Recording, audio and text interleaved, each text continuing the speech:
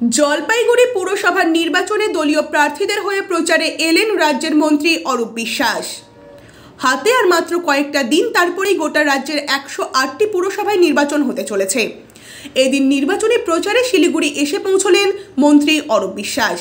জানা যায়, জলপাইগুড়ি পুরসভার দলীয় প্রার্থীদের হয়ে প্রচারে এদিন শিলিগুড়ি আসেন মন্ত্রী। এরপর শিলিগুড়িতে সাংবাদিকদের মুখোমুখি হয়ে তিনি বলেন, শিলিগুড়িবাসীকে অন্তর থেকে অভিনন্দন ও কৃতজ্ঞতা জানাই। আমরা ঋণী হয়ে রইলাম। আগামী পাঁচ বছর সুদ সমেত ফেরত দিতে হবে উন্নয়নের মধ্য দিয়ে।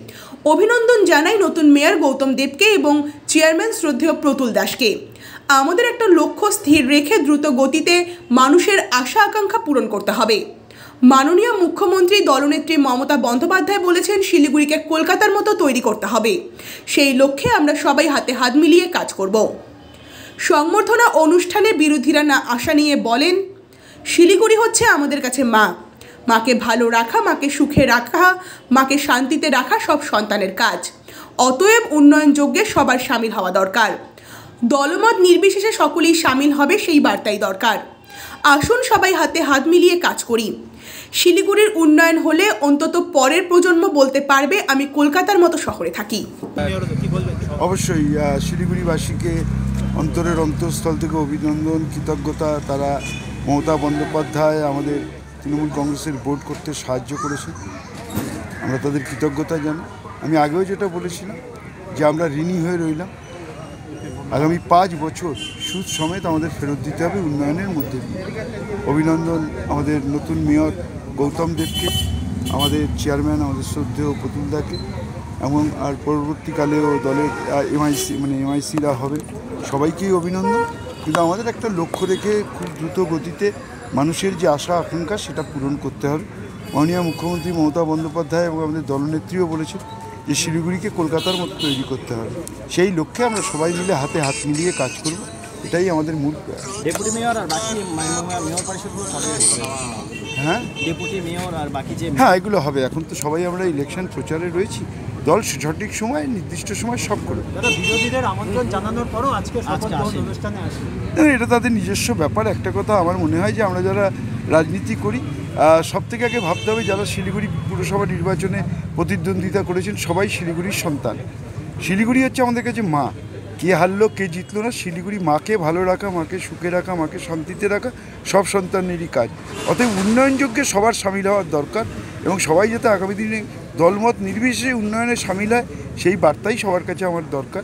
যে আসুন, সবাই মিলে হাতে হাত মিলিয়ে কাজ করি। ভোট আসবে, রাজনীতি আসবে, আবার ভোট হবে, নিশ্চয়ই কেউ জিতবে, কেউ হারবে। কিন্তু শিলিগুড়ির উন্নয়ন হলে অন্তত পরের প্রজন্ম বলতে পারবে যে আমি কলকাতার মতো একটা শহরে থাকি। উত্তরবঙ্গের বাকি পুরসভাগুলোতে কি আশা করছেন? মানে একশো আটটাতে একশো আটটা পুরসভাতেই মানুষ মমতা বন্দ্যোপাধ্যায়কে আশীর্বাদ করবে। তার কারণ হচ্ছে যে মমতা বন্দ্যোপাধ্যায়ের অপর নাম হচ্ছে উন্নয়ন। তিনি যেখানেই যান সেখানেই উন্নয়ন ছড়িয়ে দেয় উন্নয়নের ঢালি নিয়ে যান। বিরোধীদের তো কিছু নেই তারা সমালোচনা করা ছাড়া কোর্টে যাওয়া ছাড়া তাদের তো কোনো কাজ নেই। মানুষের পাশে তো থাকেন না। এই যে কোভিড হলো, কোনো জায়গায় তো কোনো রাজনৈতিক দলকে পাওয়া যায়নি। তৃণমূল কংগ্রেসের নেতৃত্ব, তৃণমূল কংগ্রেসের কর্মীরাই তো জীবনকে বাজি রেখে মানুষের পাশে ছিলেন। আমরা তো তিনশো পঁয়ষট্টি দিন মানুষের পাশে থাকি আর সঙ্গে রয়েছে প্রতুলদাকে এবং আর পরবর্তীকালেও দলের এমআইসি মানে এমআইসিরা হবে সবাইকেই অভিনন্দন। কিন্তু আমাদের একটা লক্ষ্য রেখে খুব দ্রুত গতিতে মানুষের যে আশা, আকাঙ্ক্ষা, সেটা পূরণ করতে হবে। মাননীয় মুখ্যমন্ত্রী মমতা বন্দ্যোপাধ্যায় এবং আমাদের দলনেত্রীও বলেছেন যে শিলিগুড়িকে কলকাতার মতো তৈরি করতে হবে। সেই লক্ষ্যে আমরা সবাই মিলে হাতে হাত মিলিয়ে কাজ করব। এটাই আমাদের মূল। ডেপুটি মেয়র আর বাকি মেয়র পরিষদগুলো সবে হ্যাঁ? ডেপুটি মেয়র আর বাকি যে হ্যাঁ এগুলো হবে। এখন তো সবাই আমরা ইলেকশন প্রচারে রয়েছি। দল সঠিক সময় নির্দিষ্ট সময় সব করে। বিরোধীদের আমন্ত্রণ জানানোর পরও আজকে। অনুষ্ঠানে আসে এটা তাদের নিজস্ব ব্যাপার। একটা কথা আমার মনে হয় যে আমরা যারা রাজনীতি করি সব থেকে আগে ভাবতে হবে যারা শিলিগুড়ি পুরসভা নির্বাচনে প্রতিদ্বন্দ্বিতা করেছেন, সবাই শিলিগুড়ির সন্তান। শিলিগুড়ি হচ্ছে আমাদের কাছে মা। কে হারলো, কে জিতলো না, শিলিগুড়ি মাকে ভালো রাখা, মাকে সুখে রাখা, মাকে শান্তিতে রাখা, সব সন্তানেরই কাজ। অতএব উন্নয়নযোগ্যে সবার সামিল হওয়ার দরকার এবং সবাই যাতে আগামী দিনে দলমত নির্বিশেষে উন্নয়নে সামিল হয়, সেই বার্তাই সবার কাছে আমার দরকার। যে আসুন সবাই মিলে হাতে হাত মিলিয়ে কাজ করি। ভোট আসবে, রাজনীতি আসবে, আবার ভোট হবে, নিশ্চয়ই কেউ জিতবে, কেউ হারবে। কিন্তু শিলিগুড়ির উন্নয়ন হলে অন্তত পরের প্রজন্ম বলতে পারবে যে আমি কলকাতার মতো একটা শহরে থাকি। উত্তরবঙ্গের টাকি পুরসভাগুলোতে কি আশা করছেন? মানে একশো আটটাতে একশো আটটা পুরসভাতেই মানুষ মমতা বন্দ্যোপাধ্যায়কে আশীর্বাদ করবে। তার কারণ হচ্ছে যে মমতা বন্দ্যোপাধ্যায়ের অপর নাম হচ্ছে উন্নয়ন। তিনি যেখানেই যান সেখানেই উন্নয়ন ছড়িয়ে দেয় উন্নয়নের ঢালি নিয়ে যান। বিরোধীদের তো কিছু নেই তারা সমালোচনা করা ছাড়া কোর্টে যাওয়া ছাড়া তাদের তো কোনো কাজ নেই। মানুষের পাশে তো থাকেন না। এই যে কোভিড হলো, কোনো জায়গায় তো কোনো রাজনৈতিক দলকে পাওয়া যায়নি।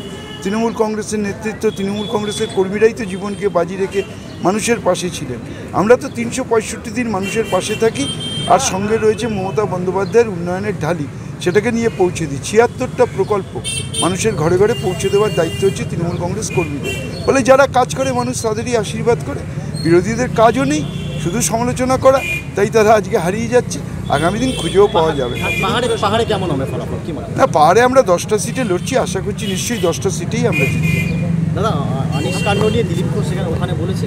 দেখুন এটা এটা এটা আদালত এবং আমাদের সরকার সিট গঠন করেছে এই নিয়ে আমি কোনো পাহাড়ে কোনো সম্ভাবনা আছে? দেখুন পাহাড়ে বলে কোনো কিছু নেই। পাহাড়ে আমরা আমাদের মধ্যে লড়ছি। মানুষের আশীর্বাদ চাইছি সমর্থন চাইছি। আগে আমরা পাই কটা সিট পাই কে কটা সিট পায় তারপরে তো ছেলে হবে না মেয়ে হবে আমি আগে থেকে কি করে